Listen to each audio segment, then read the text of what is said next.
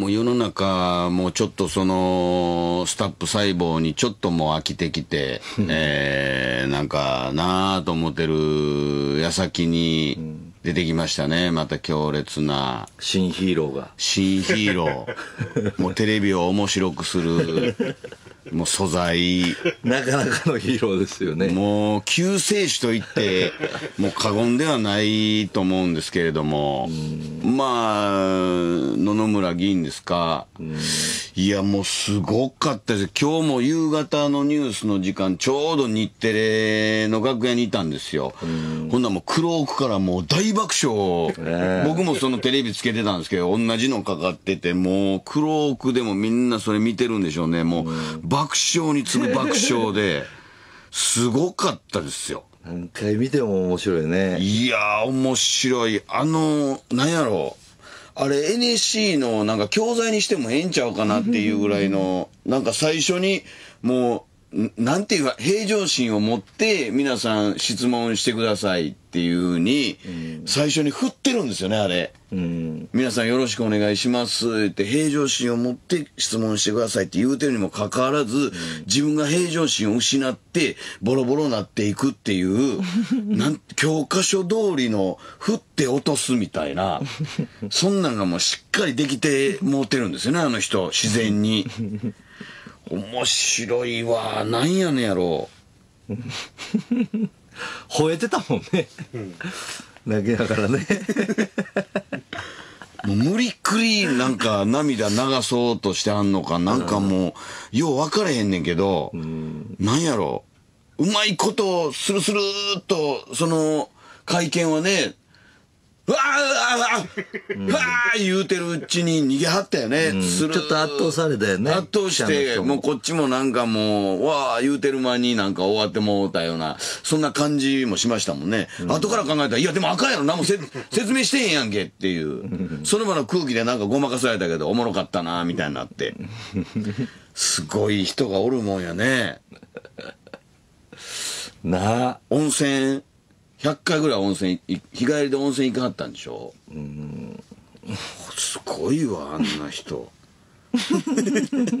あんたには分からないでしょうね。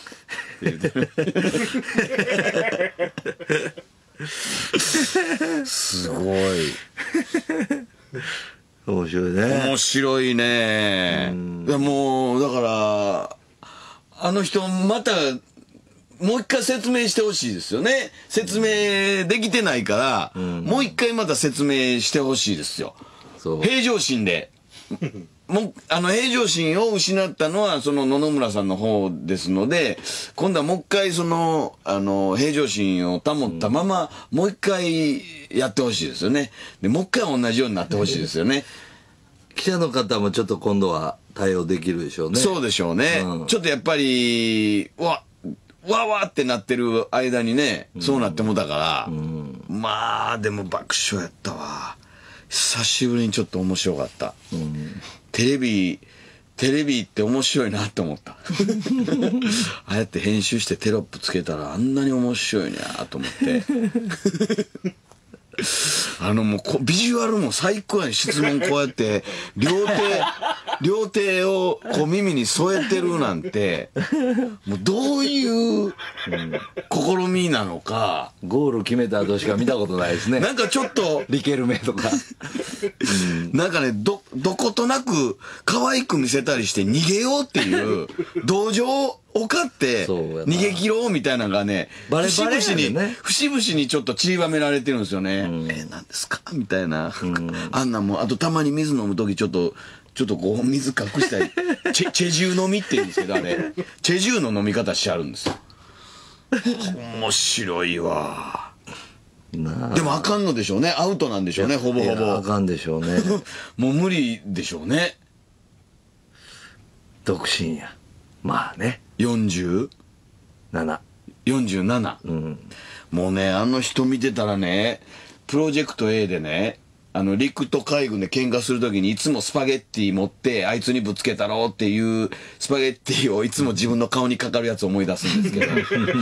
知 知らないですか？ジャッキー映画によく出てくる方なんですけど酒場で喧嘩になって陸とあのうん。ジャッキー海軍の方やから、ん。で、喧嘩になって、で、殴られたからとも仕返ししようと思って、パッあの、スパゲッティをずーっと持って、その殴ったやつをこう探してそいつにスパゲッティぶつけようとすんねんけど、なかなかぶつけられへんっていう、おいって読んだら下からポンって出てきて、あのパスタパーンって顔にかかるっていう、その人にそっくりなんですよ。だから余計笑ってもって、この人、プロジェクト A とかに出てるわ、ジャッキーファミリーのっていうぐらいめん、めっちゃ似てるんですよ。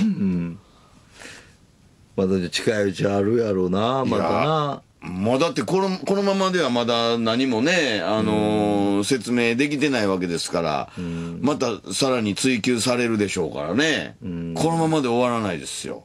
うん。でもやめないんでしょうね。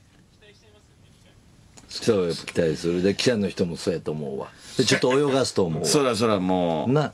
うん。うん。天丼で来るんやろな。うんいや、分かれへんよ。もっと新しい笑いで来るかも分からへんから。こればっかりは、俺らには想像できへんようなとこから来るかも分からへんからね。うんいやー、でも面白い。本当にもう、こんな、なんやろ最初に見た時にもうなん、もう一回見たいと思ったもん。うんで、今日また見ても、今日も笑えるもん。昨日も何度も見たのに、今日でもまだ笑えるから、ねこんなに面白い、あのー、なんやろ、会見ないね。うんこれは素晴らしいと思う。うん なんか、あかんねやろうけど、なんか、頑張れって思ってもらえる。逃げろって思うねん、なんか。逃げいや、言う、あかんねんで。あかんねんけど、いけるいける、まだまだ逃げろって。もっと、なんか、うわうわーって言えっていう。もっと聞けもっと聞けっていうふうに思ってまう。なんか、この人の場合。ね？そんな感じがしてまうのよ、なんか。なんやろな。なんであんなことになってんやろな。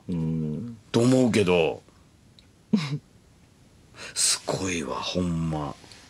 これほんで YouTube でね、ちょっと倍速のやつがあるんですよ。ちょっと早くしてるやつ。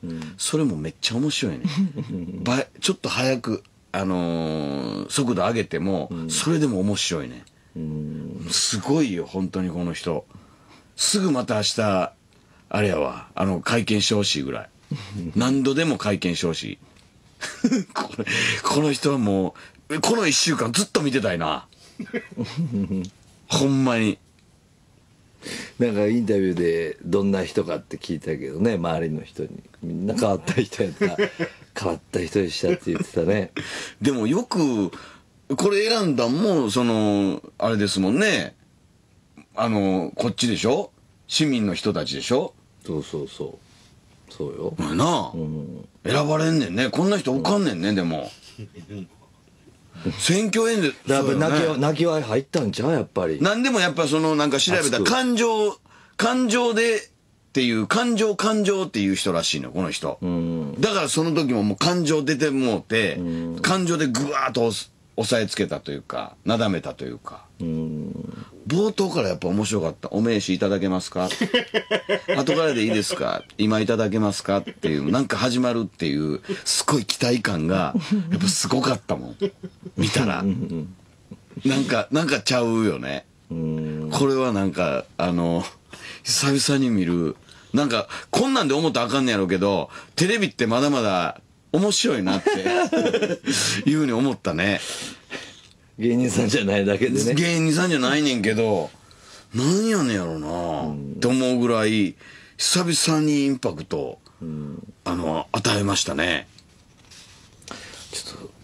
スターの出所が変わってきたっていうところかね。じゃあもうほんま、なんか、もうこんなんあれやけど、いいとものグランドフィナーレと並ぶぐらいの、なんかすごい、インパクトインパクトだけで言うと、すっごい人出たなっていう、いきなりランクアップしたよね。うんなんかもう、日経エンターテインメントのタレントパワーランキング出てきそうな感じやもん。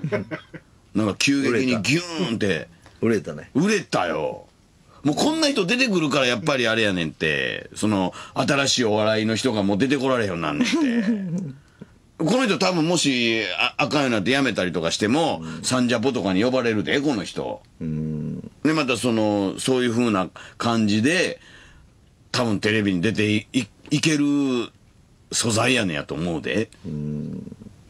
分からんけどな。分からへんけどな。こんなことあんねんなと思うわ見たいよね。見たくはなるよね。